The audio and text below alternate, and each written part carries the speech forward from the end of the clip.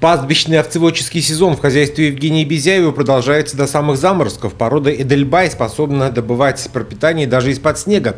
Готовы здесь и к предстоящей зимовке. Корма заготовили на всю зиму. Тюки с луговым сеном аккуратно уложили в помещение, скосили люцерну, плюс ячменная солома и зерновая смесь. Ячмень, овес, пшеница. Это составит основу рациона овец в холодное время года. Традиционная для Казахстана порода хорошо приживается на Сергиевской земле.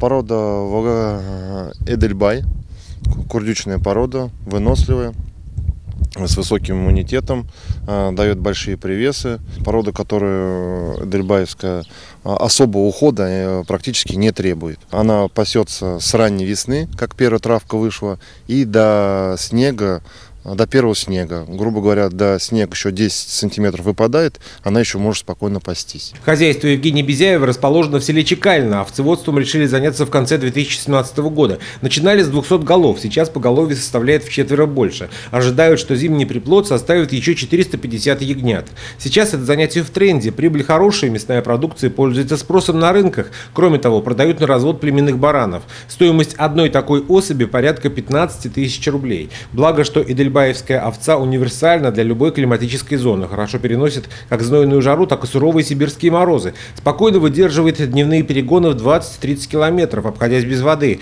Важно соблюдать правила разведения и вовремя делать прививки. Самое главное для овец это не должно быть сильных сквозняков, а, хорошо про проветриваемое помещение.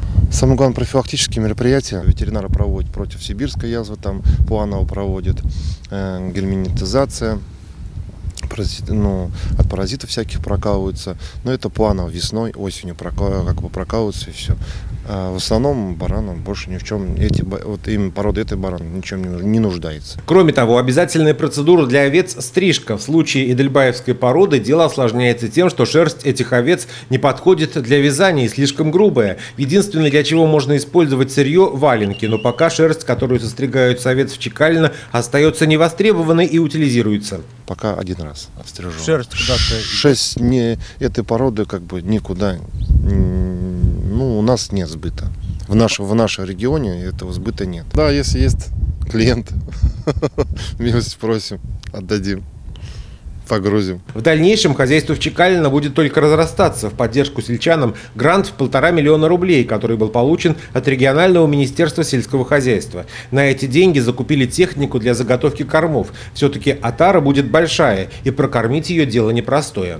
Олег Зверев, Дмитрий Сурков, Новости ТРК «Радуга-3».